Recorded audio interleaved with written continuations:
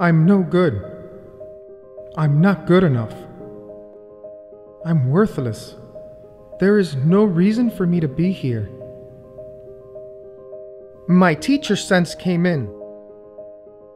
I took a piece of paper and a pen and started to write my thoughts down. I'm no good. I'm worthless. There is no reason for me to be here. That was the moment. That was the moment I realized the true power of writing. I was able to take these thoughts out of my head. I was able to step out of my existence and see my thoughts from the outside. When we have clarity, we begin to break things down, hone in on what needs attention, and start putting our lives back in order. I started to use writing therapy with my blog. My train of thought carried me from creating worksheets for my students in the classroom to creating worksheets for adults to use for my blog. I created a time management worksheet. I created a worksheet for stress, happiness, goals, coping with loss and grief, and I even created a worksheet for finding the meaning of your life.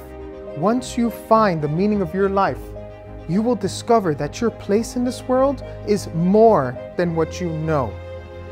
My worksheets are your long term go to guide for all of life's challenges. What is going wrong in your life? Write it down. What are the possible solutions to the problems that you wrote down? Write those down as well. What are the 10 happiest days of your life? Who was involved? Write about each one of those days.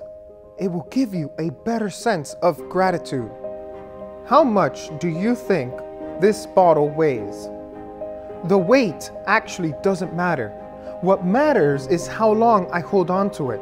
If I hold on to it for a minute, it may not do so much harm. If I try to hold on to this bottle for 24 hours straight, my arm will become paralyzed and numb. Our worries and stresses in life are like holding this bottle of water.